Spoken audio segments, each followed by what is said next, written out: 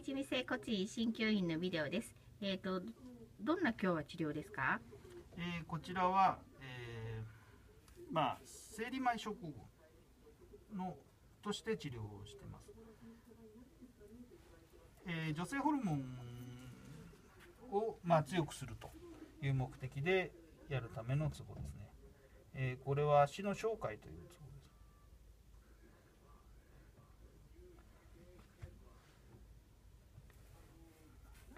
まあ、生理前症候群はいろいろな症状があるので、こちらの方は吐き気がしたりするということですけれども、